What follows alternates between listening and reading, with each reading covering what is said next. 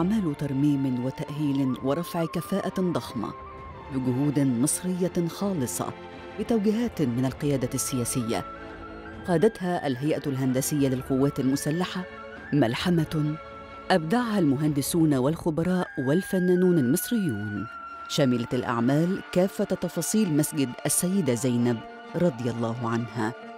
صاحبة المقام.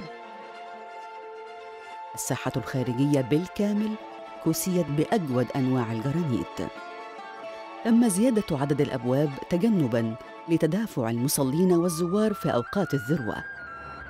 حوائط المسجد من الخارج كسيت بالكامل بالحجر المزخرف بالعقود بأشكال بروازية.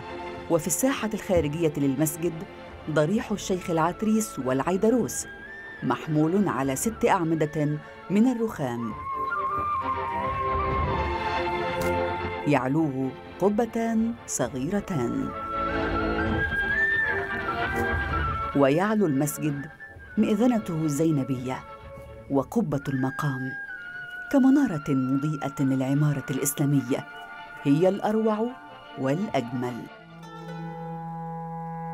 ومن المدخل الرئيسي نبدأ أولى خطواتنا داخل المسجد. لنلحظ من أول وهلة تلك الطفرات الهائلة.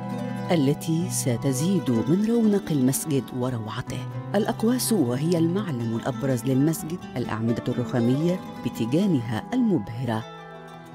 تتدلى منها الدليات والمشكوات النحاسية.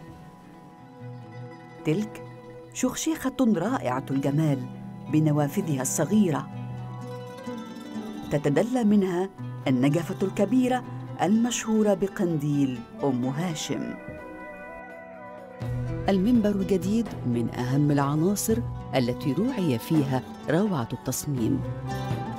وأعيد للمسجد القديم روعة محرابه وكسي المحراب الرئيسي في منتصف المسجد بأنفس أنواع الرخام وحفرت عليه آيات قرآنية كريمة. ودكة المبلغ الحوائط الداخلية تحولت إلى لوحات فنية خشبية ورخامية تبهر الناظرين ونصل إلى المشهد الشريف مقام السيدة زينب رضي الله عنها.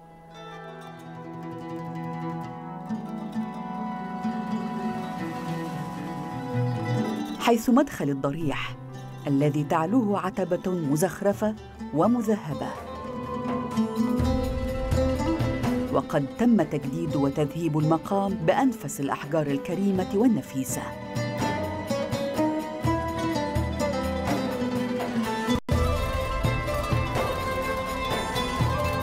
وقد روعي في تجديد المقام وترميمه من الداخل الحفاظ على طابع المهابة والفخامة اللذين يملأان الوجدان شوقا والنفس مهابة وإجلالا.